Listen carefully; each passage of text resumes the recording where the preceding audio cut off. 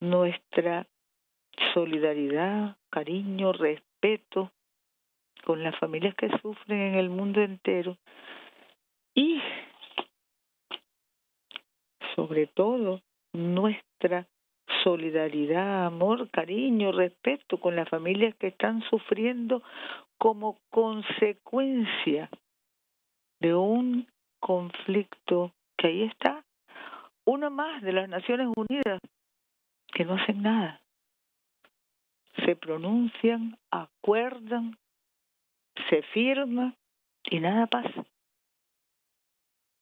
Nuestra solidaridad, nuestro cariño, nuestro amor y nuestro compromiso de contribuir con solidaridad, respeto, cariño, amor todos estos seres humanos, como cada uno de nosotros, madres, abuelas, jóvenes, varones, mujeres, todos los que sufren y todas las vidas que han sido dilapidadas por la sordera, por hacernos lo que ni vemos, ni oímos, ni podemos.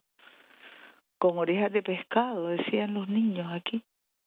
Cuántas vidas dilapidadas, cuánta traición. Traicionar tanta sangre de seres humanos, de familias inocentes.